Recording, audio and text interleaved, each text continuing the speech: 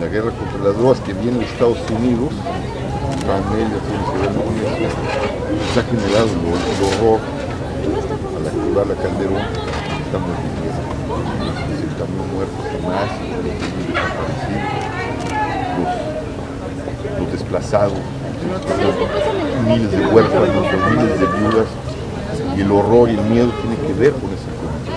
Que por desgracia no están atendiendo los no hay una, una, un- una consulta, no, no- no hay en sus agendas el problema, por desgracia, y está ahí, ahí está el problema. Vamos allá porque también ellos tienen las armas, las armas están armando legalmente al ejército y armando ilegalmente al organizado. En este momento el presidente está en el G20 y habla sobre continuar con su Por temática desgracia, de... por desgracia está equivocado. Ahí están los muertos, este país balcanizado, está el horror. ¿no? Está equivocado absolutamente. Está equivocada la política de entender la droga como un asunto de seguridad nacional, es un asunto de salud pública. Está equivocado en que la violencia se combate con más violencia. Está equivocado en muchas cosas.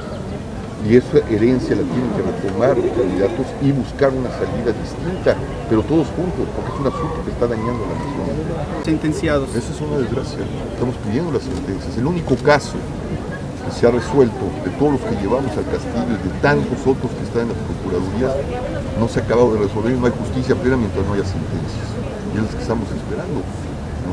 Pero esto tiene que ser para todo el país.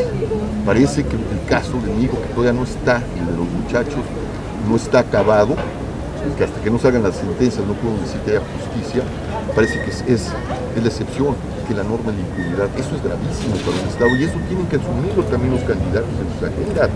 No lo están tocando, para ellos no existen los 60 mil muertos, no existen los desaparecidos, no existen los desplazados, no existen los huérfanos, no existe la guerra, no existe el problema de subordinar nuestra vida de seguridad nacional a la, agenda de seguridad nacional de los Estados Unidos. Esos son los problemas fundamentales del país para que puedan articularse las otras propuestas.